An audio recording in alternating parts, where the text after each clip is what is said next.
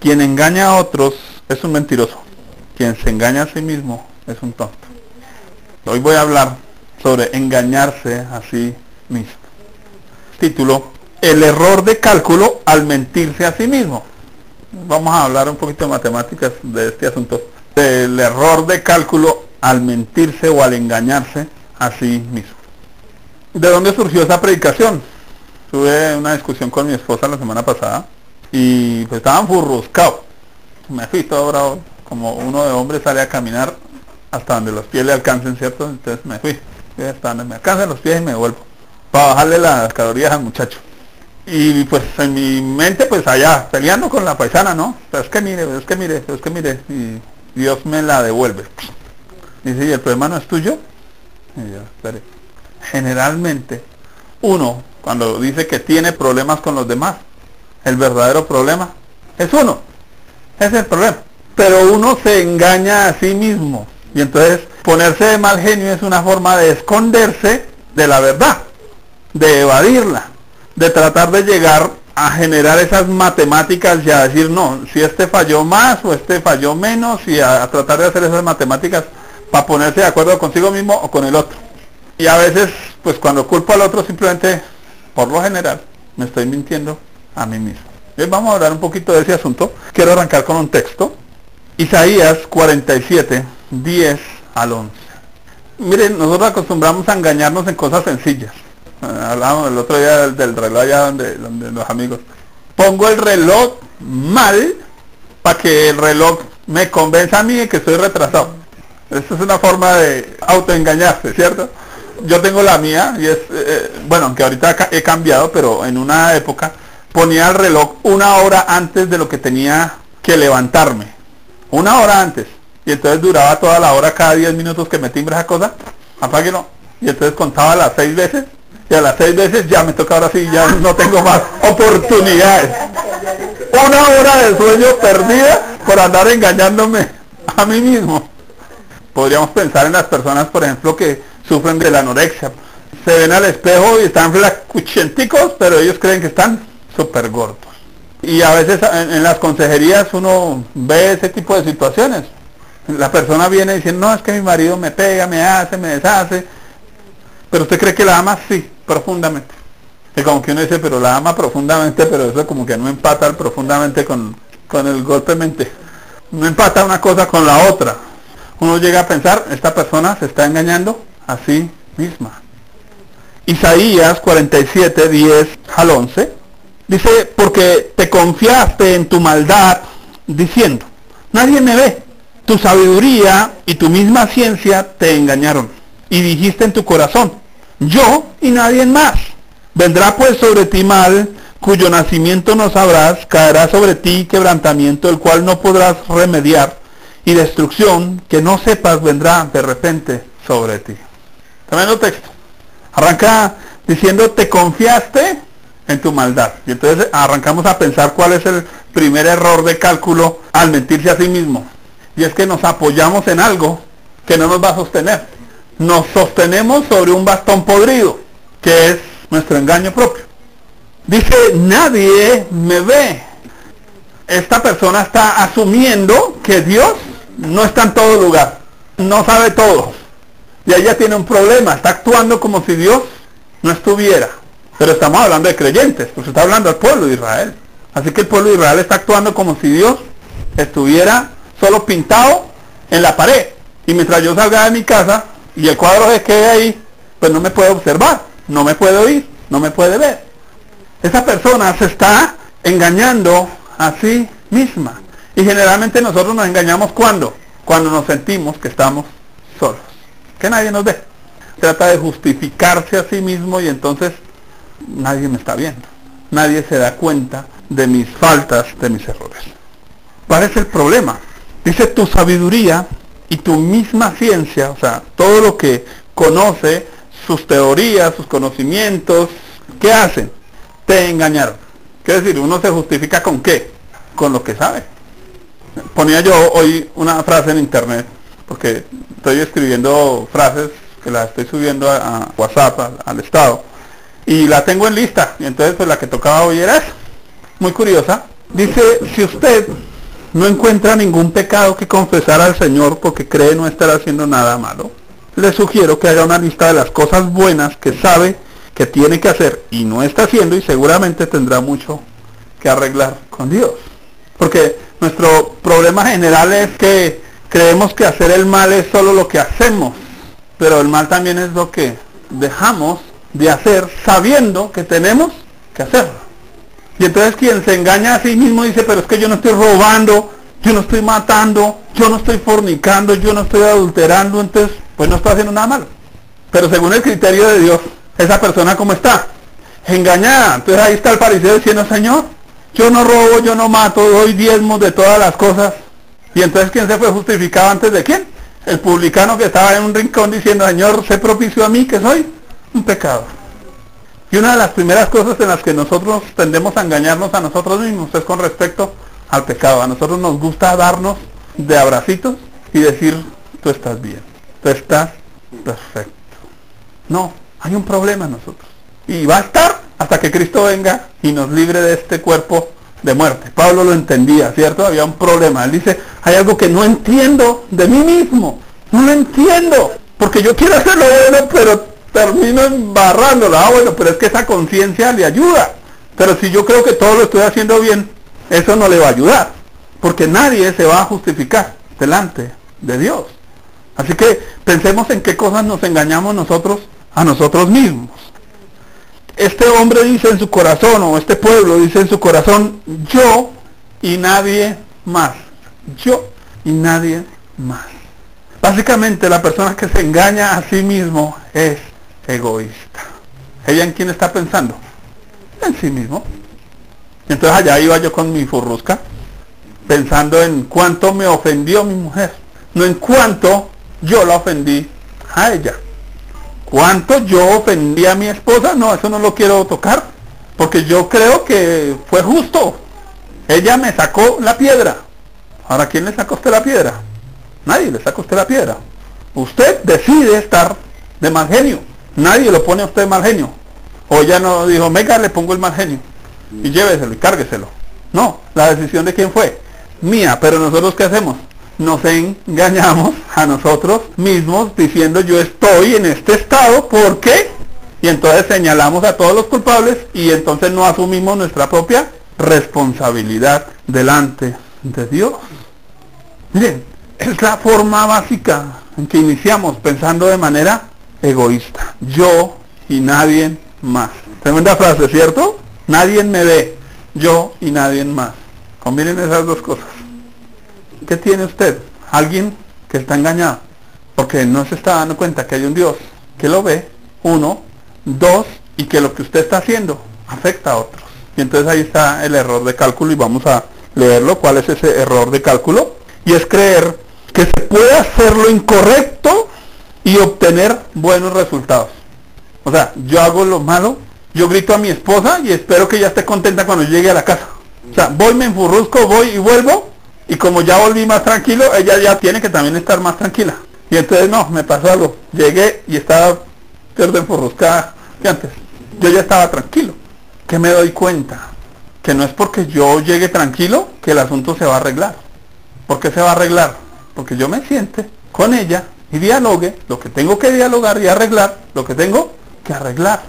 Porque así como mi ira no arregla nada, mi silencio y mis risitas tampoco arreglan nada.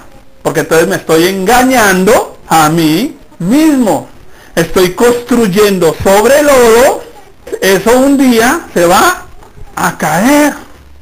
Y entonces Dios cogió y me abrió el corazón así y yo dije, ay caramba, ahora se ha visto este pastor tan pecador, y sí, me toca empezar a recordarme todas las cositas o que estoy haciendo mal o que sé que tengo que hacer y no las estoy haciendo. Yo sé que tengo que pedirle perdón a ella, pero no lo quiero hacer. Entonces le traigo flores y entonces con las flores que ella asuma. Pasan los días y los años y no arregle nada. El problema sigue ahí, sigo engañado creyendo que todo está perfecto, que mi familia está perfecta, que mi hogar está perfecto, que mi relación está perfecta, que mis hijos están perfectos. Y no. Génesis 2, 16 al 17 dice, y mandó Jehová Dios al hombre diciendo, de todo árbol del huerto podrás comer, mas del árbol de la ciencia del bien y del mal no comerás, porque el día que de él comieres ciertamente morirás. Quiere decir, de su decisión siempre va a haber una consecuencia. Pero a veces uno está tomando malas decisiones y que espera que hayan buenas consecuencias. ¿Y qué van a haber? Perdónenme, malas consecuencias. ¿Qué fue el problema? Que el hombre come del árbol y se mira a sí mismo y dice, ay, no me morí. ¿Cómo está el hombre? Engañado así mismo. Él dice, no, no, no pasó nada, mi mujer no me echó. Como no me echó, estoy bien. Ahí sigue todo normal. Me sirvió tinto. Llegué yo y me sirvió tinto. Entonces yo digo, no, pues desde que me dé tinto, desde que me sirva el desayuno, pasó de agache. ¿Sabe qué estoy haciendo? Estoy construyendo sobre arena. Me estoy engañando a mí mismo. ¿Cómo se engañó la mujer? Dice Génesis 3, 6 al 7. Y vio la mujer que el árbol era bueno. Qué contradicción. Dios había dicho árbol malo. ¿Ella cómo lo está llamando? Bueno. La Biblia dice que ese es el problema de este tiempo, que llamamos a lo malo bueno y a lo bueno malo. Y entonces, ¿sabe qué significa? Que realzamos lo bueno de nosotros, pero nos estamos olvidando de la parte mala de nosotros. Y entonces como nos estamos olvidando de la parte mala, entonces yo puedo decirle a mi esposa, pero si yo soy un hombre de Dios, si yo oro, si yo ayuno, si yo leo la Biblia, ¿usted qué problemas tiene conmigo? Ella tiene problemas que son personales, que no tienen nada que ver ni con el ministerio ni con la vida espiritual del fulano. El problema no es qué tan espiritual soy. El problema es qué tan carnal me vuelvo cuando tengo un conflicto. Ese es mi verdadero problema. De hecho, eso opaca mi espiritualidad. ¿O no me extrañaron hace ocho días? Pues me extrañaron. ¿Y por qué me extrañaron? Pues porque el paisano fue ruscado dijo, yo no predico, me voy. Entonces fue el paisano enforruscado. Entonces le estoy aquí dando el antídoto. Como Dios, como Dios sabe que yo ya tengo miedo a las agujas, pues cogió una aguja y dijo, venga papito, porque necesita antídoto, porque si no, grave, lo coge maña. La maña no es huir, la solución no es correr, porque yo puedo correr, pero no esconderme, dijo Terminator, ¿cierto? Y la Biblia lo sigue diciendo igual. ¿A dónde huiré? ¿A dónde me esconderé? ¿Por qué voy a esconderme? ¿Sabe por qué me quiero esconder? Para engañarme a mí mismo. Entonces piense usted en su vida, piense en esas cosas de las que usted huye, que usted no quiere enfrentar, que usted no quiere ponerle la cara a eso. Piense en eso, porque a veces no le ponemos la cara ni a Dios. Él dice, venga, y estemos a juicio. Y si ustedes, sus pecados fueran así, yo los arreglo, pero no queremos decirle a Dios que somos pecadores, queremos decirle a Dios, Señor, vengo con mi lista de peticiones, necesito, necesito, necesito, necesito y espero que Dios lo arregle. Y Dios no va a arreglar lo que yo dañé. Eso me toca arreglarlo a mí. Entonces no es que yo me voy allá, voy y me quejo con Dios, departamento de queja celestial, de lo mala que es mi mujer y Dios dice, sí, claro. ¿Y usted qué? A ver, cuente. Y empieza Dios a escucharme la lengua y el corazón. Y entonces me doy cuenta que, espere, tengo algo que arreglar. Saben que todo pensamiento calculado tiende a convertirse en una creencia, y quiero que lo piense. Cuando tomo algo y digo me funcionó, lo asumo como una verdad. Estaba esta semana viendo algo sobre la ira, porque pues si yo tengo mi problema, entonces tengo que buscar soluciones, entonces empecé y me vi una vaina sobre la ira en los niños. De hecho me lo mandó mi esposa, a ver si aprendo, porque no he podido. Y entonces entendí algo interesante. Resulta que si al niño él pide la comida y usted no se la sirve inmediato, él hace pataleta y entonces usted se afana y le trae la comida y el niño se calmó. Él asumió una verdad. ¿Cuál es la verdad? Pataleta igual comida rápida. ¿Sí? No hamburguesa necesariamente, ¿cierto? Pataleta igual comida rápida. Pataleta igual a solución al problema. Y entonces nosotros tenemos un problema. ¿Cuál? Que tenemos un problema con alguien y pataleta igual, riegues el otro. Porque con quién habla el otro si yo estoy enfurruscado. Es un lío. ¿Pero por qué? Me estoy engañando a mí mismo con algo que creo que es verdad. Y entonces vamos al punto. ¿En qué me engaño yo a mí mismo? Me enojo y estoy creyendo que eso es justificable. Estoy justificando mi mal comportamiento. ¿Y por qué lo estoy justificando? Porque creo que así me funciona que esa es la forma. Porque me metí en la cabeza la verdad que la forma es huya. ¿Se acuerdan de un paisano que se engañó a sí mismo llamado Elías? Él dice, solo yo he quedado de los profetas. Primero acude a la lástima. No había nadie más como él en la vida. Nadie, nadie. El único perfecto del reino. Y entonces, ¿sabe qué hizo ese que era único en el reino? Salió corriendo. 40 días, imagínense la burruscada que tenía yo. Yo llegué hasta la despensa y volví. Tres horas ahí de camino. Pero el hombre, 40 días, emberriondado. Que tanto se engañaba a sí mismo. Él creía que era el único. Que era injusto que lo estuvieran persiguiendo.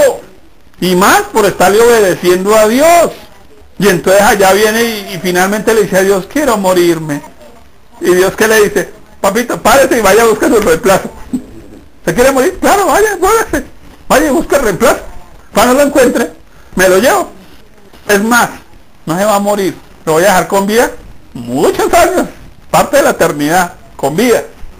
Porque es que las vainas no se arreglan a su manera. Se arreglan a la manera de Dios. Dios cuando quiere prolongar algo, lo prolonga.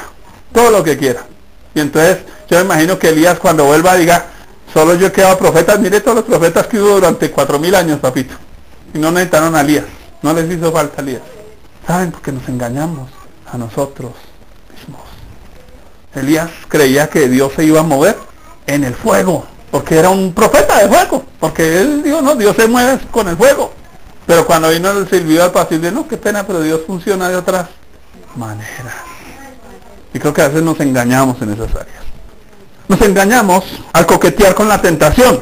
Génesis 4.7 dice, si bien hiciereis, no serás enaltecido.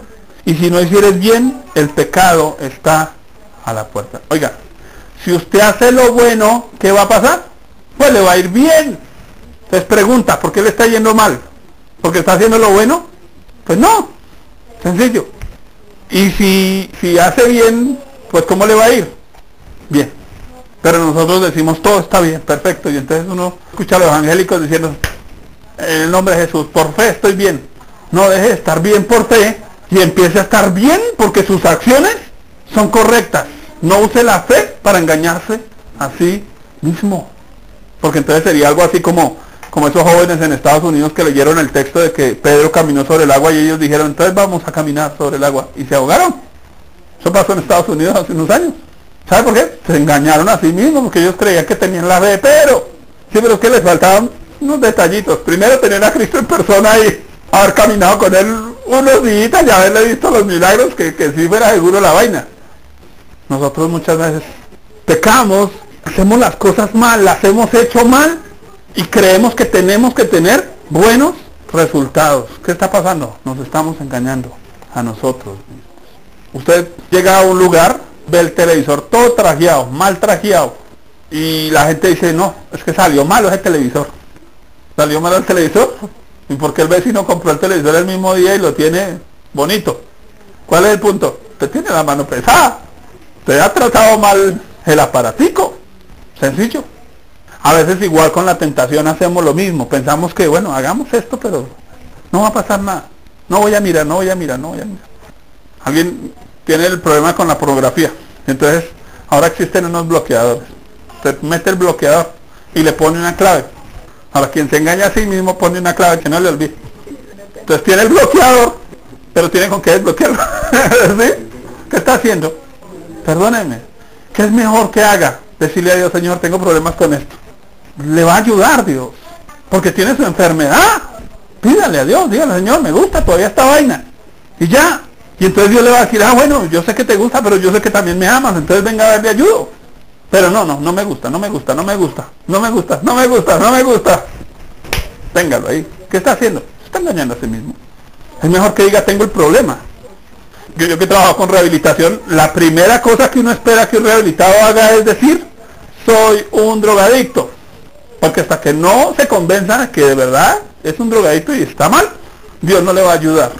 Se está justificando a sí mismo y entonces ¿qué va a pasar? Va a caer en un hoyo de repente, dice Isaías, va a venir su quebrantamiento. De repente. Porque se está engañando a sí mismo. Nos engañamos a nosotros mismos alimentando malos hábitos. Proverbios 22.13 dice, el perezoso dice, el león está afuera, seré muerto en la calle. Oiga, que hay alguien que te engaña para justificar su pereza. Y entonces él dice, no, yo no voy a trabajar, eso como que va a llover. Oiga, el tipo pronostica el tiempo. El tipo fue y habló con San Pedro y San Pedro le dijo, mire, los horarios de lluvia son, pronostica el tiempo. yo para qué estudio eso me va a ir mal. Si yo sé que yo soy bruto. ¿Perdón? Si yo sé que no soy capaz. Eso yo sé que la profe me tiene tirria. Y no ha ido. No le ha visto la cara al profesor. Pero él ya está simplemente diciendo que una excusa. Porque no es otra cosa. ¿Qué está haciendo? Se está engañando así mismo. ¿Qué debiera decir? Soy un perezoso. No me gusta. No quiero trabajar. No me interesa trabajar. No quiero progresar en la vida. Ah, y entonces Dios ama la verdad en lo íntimo.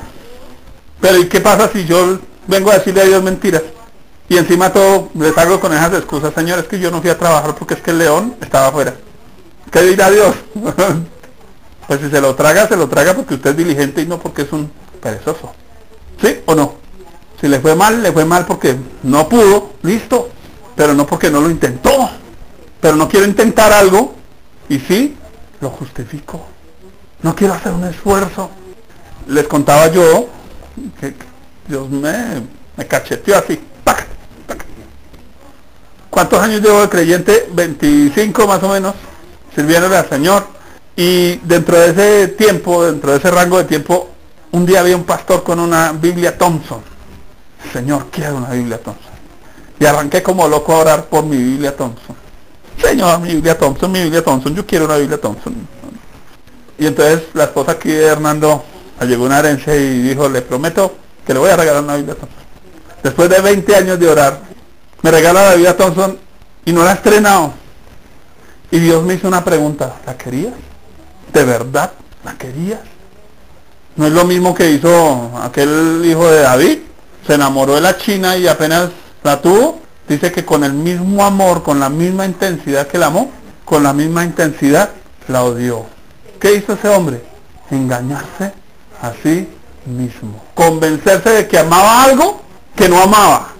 Convencerse de que quería algo que no quería. ¿Qué tan pecadores somos nosotros, mis hermanos? ¿Qué tan pecadores somos? Porque estamos mirando precisamente, estamos orando por ese avivamiento y en ese avivamiento, ¿sabes qué es lo primero que Dios empieza a hacer? A sacarnos todos los chivitos allá. Porque el lema que Dios nos dio como iglesia es por un avivamiento de santidad. No es las caídas, ni los milagros, ni las sanidades, ni los prodigios, lo que es un verdadero avivamiento. El verdadero avivamiento se da cuando un hombre puede ver su pecado y puede ver al Salvador. De otra manera, está perdido.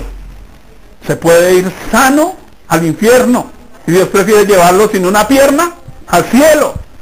Pero nuestro problema, ¿sabe qué es? Que se nos están gangrenando esa cosa y nosotros decimos, no, déjela ahí que eso se arregla, eso se arregla. No estoy mal, no estoy mal, yo puedo, yo camino, yo ando. Y se le está pudriendo eso ahí. Y nuestro mayor problema no es cuánto le servimos a Dios, porque a veces nos engañamos con el servicio. Dios me está usando, entonces estoy bien con Dios. Se está sanando la gente, se está liberando la gente, están llegando multitudes. Dios me está usando en mi vida.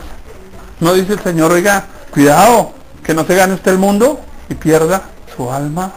¿No es mejor trabajar en nuestra alma primero? Le decía a mi esposa, definitivamente cada vez me doy más cuenta de que nosotros en el servicio de Dios no hacemos sino estorbo. No hacemos más. Pero nos engañamos a nosotros mismos. Tienen que respaldarnos, tienen que funcionar. Y Dios dice, no, el problema es suyo. El problema no es la iglesia, soy yo, Simón. Y me toca trabajar en eso y me toca irme a Dios a decirle, Señor, a ver, porque no lo quiero ver o no lo he visto o no lo entiendo, pero necesito que me esculques. Cúlcame, Señor. Porque el problema es yo, el problema no es la gente. Porque a Jesús lo seguían. Y si yo tengo el llamado al Señor, la gente nos va a seguir. No me toca seguir a la gente. No me toca perseguir a la gente. La gente va a seguirnos. Pero tiene que arrancar por en qué me estoy engañando yo a mí mismo. ¿Para qué estoy trabajando?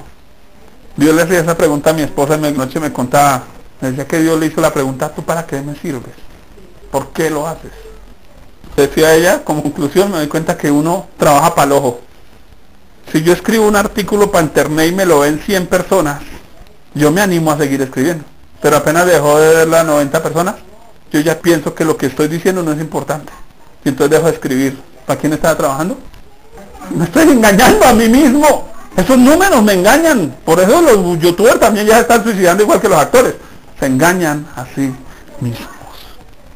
Proverbios 13:7 dice, hay quienes pretenden ser ricos y no tienen nada, y hay quienes pretenden ser pobres y tienen mucha riqueza. Eso, está peor. Se engañan. Tienen 100 mil en el bolsillo y se creen multimillonarios. Y hay los multimillonarios que no ayudan para nada, ¿cierto? Se engañan así mismo. Dice el Salmo 14.1, dice el necio en su corazón, no hay Dios. Oiga, el problema es que no hay Dios, o el problema es que el necio se engaña a sí mismo, lavándose el cerebro de que no existe Dios. Entonces, cuando él llegue al cielo, Dios no le va a decir, bueno, pero tú por qué dudaste, por la teoría de Darwin o por la teoría de fulano y tal. No, Dios qué le va a decir, Señor, usted se engañó a sí mismo. Tu ciencia y tu sabiduría te engañaron.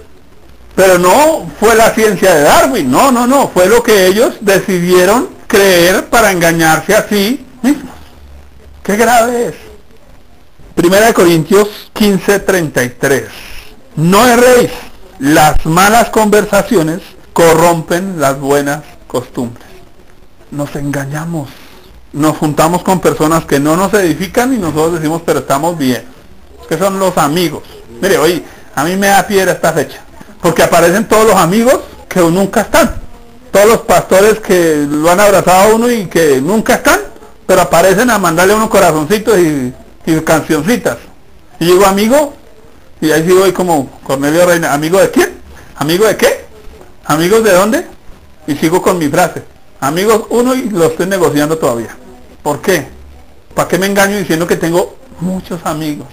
En Facebook tengo mil amigos, ¿cierto? Se muere y no va no va al velorio, sí. Pero cierto que nos engañamos, nos engañamos a nosotros mismos nos engañamos. A veces tenemos conversaciones indebidas y creemos que Dios no nos vio ni nos oyó todo lo que, las babosadas que estuvimos charlando. Y Dios dice, eh, eh, pilas, no se engañe, porque se puede corromper. Yo creo que no me voy a corromper viendo esa película, yo creo que no me voy a corromper viendo o escuchando y sí. Job 15:31 No confíe el iluso en la vanidad, porque ella será su recompensa. ¿Qué es iluso? Aquí hay alguien que se está ilusionando. No, las cosas van a mejorar. Póngale cuidado a la forma en que nos engañamos. Hemos visto los casos de hombres que no son creyentes, ellas creyentes, él se convierte, o sea, va a la iglesia a hacer la oración entrega, para cuadrarse la china, para acostarse la china, para casarse a la china. Cuando ya están en el matrimonio y tienen los conflictos porque él es un inconverso y ella no, cuando ella dice te voy a abandonar, el tipo coge la Biblia ese domingo y se va con la señora para la iglesia y la señora sale ilusamente, ahí está el iluso, diciendo, ay, mi marido hoy vino a la iglesia, eso es que ya Dios lo tocó y estaba hasta llorando. No, que es una belleza. Cantó, levantó las manos. ¿Nos engañamos? Nos engañamos. Los chinos nos voltean, nos venden ilusiones. ¿Y sabe qué hacemos nosotros? Nos engañamos a nosotros mismos. Porque cuando quieren estar bien, mamita, popito, ¿cierto? Y cuando no, ni no, ni se acuerdan, ni les interesa. No confíe el iluso en vanidad, porque ella será su recompensa. Oiga, hay vainas que o tienen peso no la tienen. Uno mira relaciones que no tienen peso. Ah, ah, molestamos aquí a mi hermana. Cuando ella a veces ha traído personitas acá, ella es testigo, yo le pregunto a usted por qué vino, porque ella la trajo o porque usted quería. Y la mayoría, no, pues que ella me ha insistido que venga. Ah, iluso. Ella cree que por qué viene. ¿A qué? Y no, porque es lo mismo que nos pasó a los pastores, ¿cierto? Venía campañas evangelísticas, 200 personas haciendo la oración de entrega, levantando las manos, les hicimos consolidación, ¿cierto? Jugo de naranja, rostica, haga esta oración, cuatro leyes y váyase para la casa y yo lo llamo esta semana. ¿Y dónde está? ¿En qué confiamos? Ilusiones. y nos pegamos a eso. ¿Hace ocho días el culto estuvo lleno? No, esta semana, mejor dicho, va a estar el doble. No, no, no, Yo le digo a mi esposa, no sea ni me fresca. Espere, sigamos haciendo lo que nos toca hacer. No prediquemos algo extraordinario para la próxima porque porque como la anterior vinieron tantos, pues esta me voy a lucir como nunca antes, ¿no? Con la misma predica y mi hijo, el que le sirvió, le sirvió, el que no le sirvió, no le sirvió. Porque ¿para qué les predico algo más maravilloso? Para ganármelos, para captarlos. Eso es se desvanece. Pero nos engañamos a veces nosotros mismos en esas áreas. ¿Saben qué más nos engañamos? En hacer daño a los demás. Proverbios 26, 27 al 28. El que cava foso caerá en él y al que revuelve la piedra, sobre él le volverá. La lengua falsa atormenta al que ha lastimado y la boca lisonjera hace resbalar.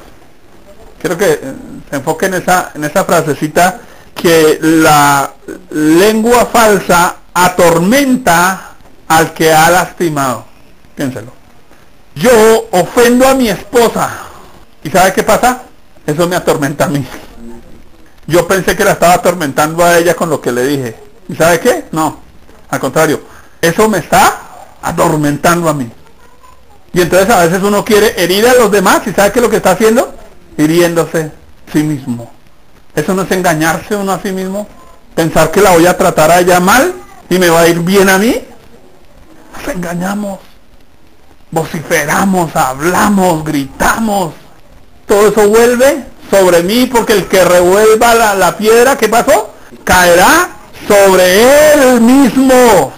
Si él cae un foso, él es el que va a caer en ese foso, no el otro. Yo hice aquí el foso para que cayera el otro y ¿sabe qué pasó?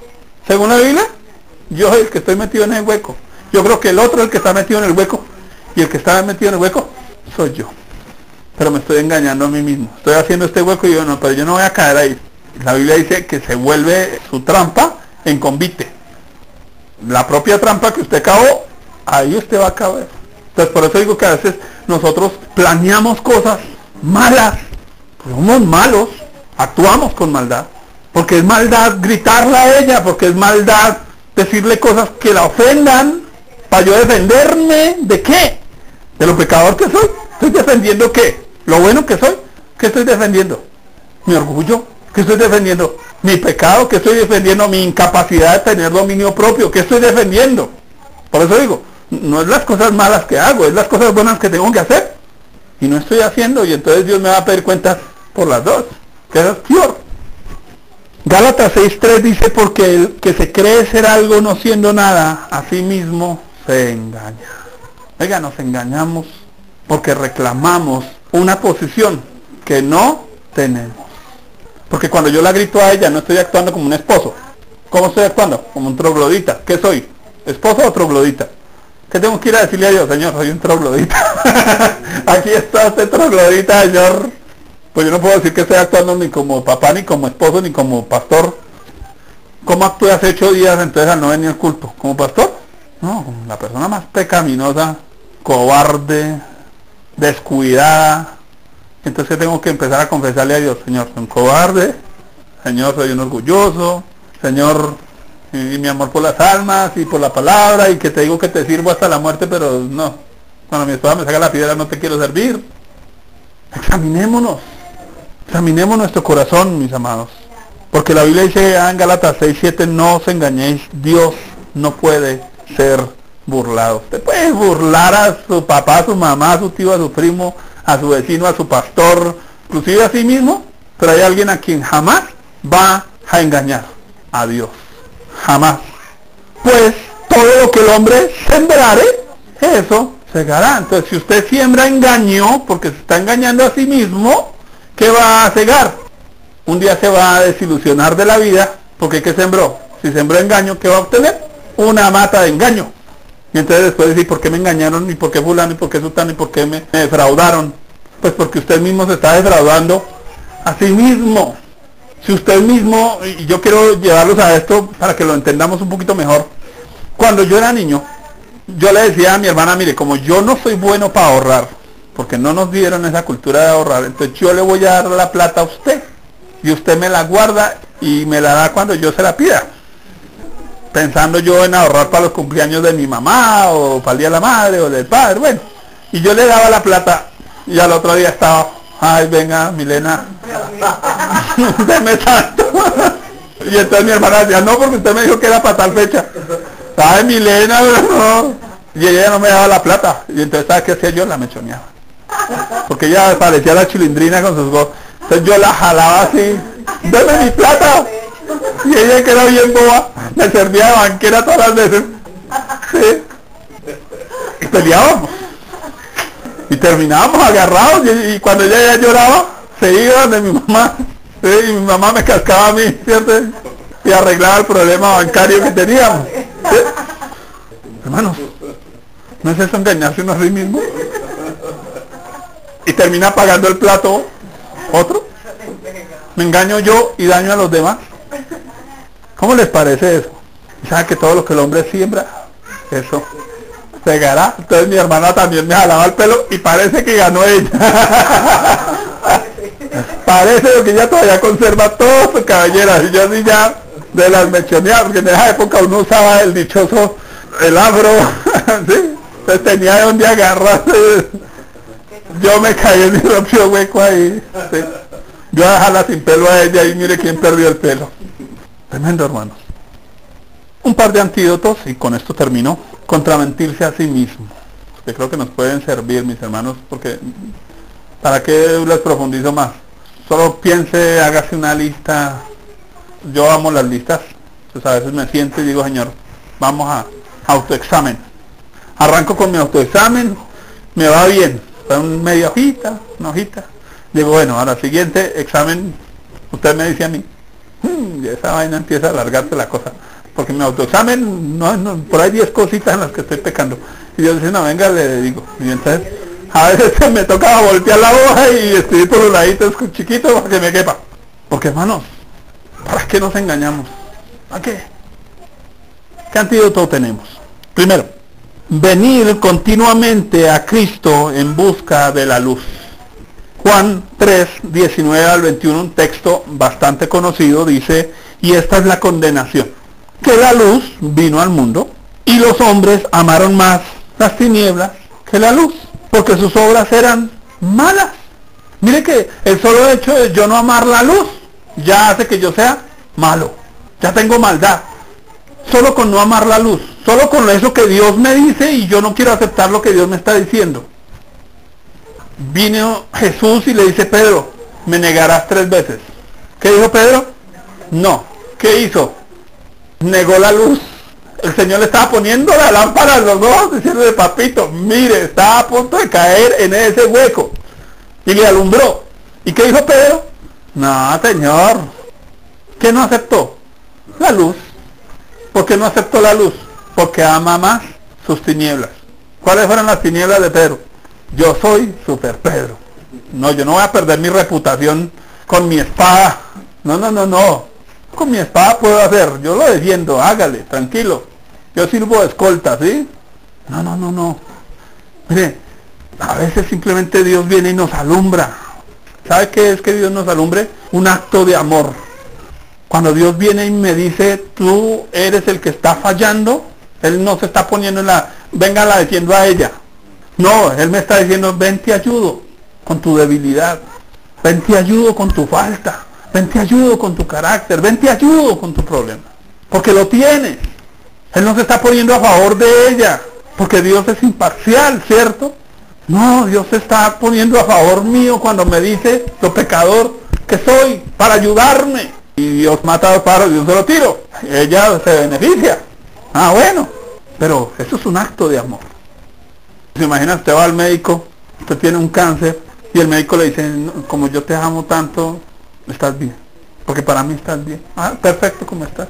¿Usted qué le diría al médico? Es un cruel, es un malo, maldadoso.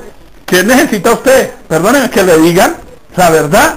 La forma en que se lo digan, bueno, porque es que a veces Dios nos dice unas verdades, no solo todas las veces, sino a veces usa a las personas que uno menos espera para decirle a uno Allá va un Simón en su furrusca Está sentado allá y entonces en la emisora preciso están hablando el tema y preciso dicen la frase que entonces hice algo más. No, necesito entretenerme y tengo una sopa de letras. Y en la sopa de letras todas las palabras relacionadas con la relación, relacionadas con conflictos, relacionadas con... yo, no, no, no. Y entonces uno esa vaina rápido y pasé a la otra y todas las palabras encajaban. Me puedo tomar una foto y mandársela. Encajaban y yo subrayaba eso y como que cada vez que subrayaba Dios decía, ¿y lo tienes? Dios usa lo que quiera. Pablo dice que Dios le envió un mensajero de Satanás. Ahora, ¿qué tal que hubiera sido un falso profeta? Pero igual le dio su cachetón y lo necesitaba. Porque no dice un mensajero de Satanás, todavía hubiera dicho Pablo, un mensajero de parte de Dios. No, de parte de Satanás. Yo me imagino a Dios diciendo, Satanás necesito el mensajero. Satanás dice, le presto el, el más cochino que pueda y quiere y lo manda y le dice, chino, tiene libertad, tranquilo que Dios no le va a hacer nada. Usted vaya y dele. Usted vaya y dígale. Usted vaya y chúsele. Tranquilo, vaya. Porque es que no es, el problema no es el mensajero. El problema sigo siendo yo. Mi problema. Pero no puedo engañarme a mí mismo culpando a otros. Si Dios está trayendo luz a mi vida, ¿sabe qué me toca hacer? Todo este desorden había aquí, yo me he dado cuenta. Y le digo amén a Dios. Porque si Dios dice que esa pared es verde, arrepentimiento, ¿qué significa? Decir lo mismo. Ah, esa pared es verde. Así yo la esté viendo amarilla. Si Dios me dijo verde, Señor, verde. Tú me dices a mí que soy tal cosa, lo soy. Porque qué? Sea Dios veraz y todo hombre mentiroso. Quiere decir que todo hombre tiene la tendencia a engañarse a sí mismo. Mire lo que dice la mujer samaritana, Juan 4, 28 al 29. Entonces la mujer dejó su cántaro y fue a la ciudad y dijo a los hombres, oh, he sentido la presencia de Dios, Dios me habló. ¿Y qué dice? Ahí hay un hombre que me ha dicho todo lo que he hecho. Me sacó los chiritos al sol, mis trapitos al sol. No, me dio una palabra de que me iba a bendecir, que iba a arreglar todo mi problema. No, me dijo todo lo que yo he hecho. ¡Wow! Mejor antídoto contra el engaño a sí mismo que Dios nos diga en la carita todo lo que hemos hecho. Solo que, ¿sabe qué pasa? Dios lo hace en etapas porque donde nos lo diga todo el tiempo, nos mata. Dios lo hace de apochitos. Dios nos va diciendo las cositas de apochitos. Vamos arreglando cositas. Porque ahorita arreglamos la pieza ya, arreglemos esta primero. Pero si Dios le mostrara a usted todo, entonces lo que les contaba yo del pastor amigo mío en, en, en Ibagué, que le dijo a Dios, Señor, muéstrame mi pecado. Dice, duró tres horas diciéndome vainas. Y pensé que me iba a morir. Y le dije a Dios, Dios, no merezco, Señor, la vida. 25 años sirviéndote con una iglesia impresionante. Pensé que me iba a morir, decía. Y yo creo que si Dios hiciera eso, nos mata. Dios apenas medio nos dice, ven, una, una, una nomás. Y arréglela. Y, y vuelve y le cuento la otra. Arreglemos ya una sola enfermedad por, por consulta. Porque si no, nos mata finalmente tener como propuesta principal en nuestra vida hacer una verdadera praxis de la palabra de Dios, una práctica. Dice Santiago 1.22, sed hacedores y no tan solamente oidores, engañándoos a vosotros mismos. ¿Sabe por qué nosotros tendemos a engañarnos a nosotros mismos más que nada? Porque lo que Dios nos dice que haga, no lo hacemos acumulamos millas de engaño, acumulamos. Y un día el viaje sin escalas, el hueco. Quien se engaña a sí mismo realmente es porque no le interesa tomar lo que aprendió en el culto y decir voy a hacerlo. No, lo que leyó en el devocional, entonces me leí mil devocionales en la mañana porque mil personas me mandan mil bobadas todo el día y no cogí una sola de esas y la apliqué. ¿Qué estoy haciendo? Me estoy engañando así mismo. Agarre una sola, una, y aplíquela. ¿Y sabe qué va a pasar? Usted va a empezar a andar en la verdad. Porque la verdad es para andarla, no para saberla. Ah, hay que andar en la verdad. Dios le hace saber la verdad para que usted ande, aplique, viva, fusione lo que sabe con lo que está haciendo en la verdad. De otra manera, usted todas las verdades que sabe lo van a engañar ¿Cierto? Que eso dice Isaías. Tu ciencia y tu sabiduría te engañaron. Yo sé lo que tengo que hacer, pero como no lo hago, me estoy engañando a mí mismo y entonces vendrá de repente el problema. Vamos a orar. Vamos a pedirle a Dios en esta mañana simplemente que nos ayude. Piense en usted mismo, piense en qué cosas, seguramente usted hoy diga algo retado a mirar en qué cosas me puedo estar engañando a mí mismo, creyendo que engaño a Dios también. Tal vez los demás se vean engañados y piensen que usted está perfecto. Dios, en esta mañana simplemente quiero dar gracias a ti por tu palabra, porque tu palabra es viva, tu palabra es verdad, tu palabra es cortante. Y Señor, nos corta, y como martillo nos quebranta, Señor. Y como cuchillo, Señor, Dios penetra, Señor, en nuestra alma misma, Señor. Y descubre los pensamientos, descubre las intenciones, descubre, Señor, lo que hay dentro de nosotros. Señor, queremos pedir misericordia, porque te fallamos. Porque a veces nos paramos delante de ti diciendo lo justo que nos sentimos, lo bueno que somos. Porque a veces nos paramos delante de ti a justificar nuestro pecado, diciendo que fue culpa de otro. Dios, porque a veces nos paramos delante de ti a decirte, Señor, las cosas maravillosas, Señor, que nosotros hacemos por ti, para ti, que hemos hecho y los esfuerzos, Dios. Pero Señor, tu palabra dice, que delante de ti nadie se justificará, Señor. Porque la única justicia que podemos presentar es Cristo. No hay otra forma, Señor. Tú eres nuestra justicia, Señor. Tú eres Jesús. Por eso queremos venir de tu mano, Señor. Nosotros pecadores, tú santo y maravilloso, tú perfecto y puro, Señor. Nosotros pecadores, Dios. Pero justificados por tu sangre, por tu gracia, por tu amor, Señor. Así que enséñanos a presentarnos delante de ti en humildad, en sencillez, con mansedumbre, Señor. Porque cuando necesites quitar de nosotros, Señor, esas astillas enterradas en nuestro carácter, Señor, que tengamos la actitud mansa de dejar, Señor, que tú lo hagas, Señor, que tú arranques, aunque nos duela, Señor, esas cosas de nuestra vida, Señor, que te ofenden. Padre, por favor, ayúdanos. Porque tú eres un Dios real, eres un Dios amoroso. Gracias por tu luz. Gracias por tu luz. Te hemos pedido tantas veces, envía tu luz, envía tu verdad.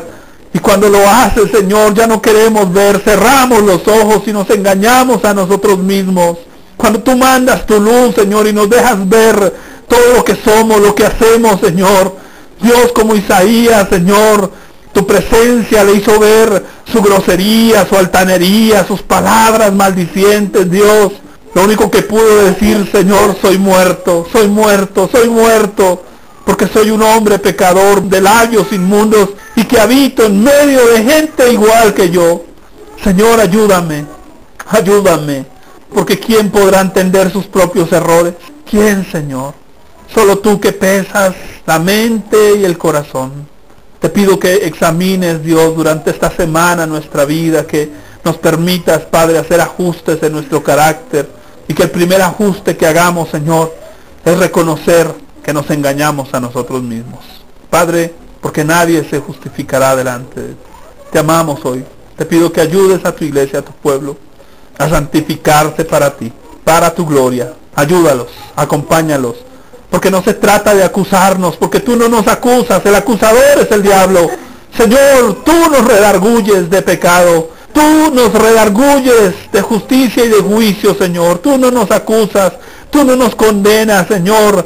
Tú nos muestras nuestra condición para que podamos venir a ti, Señor.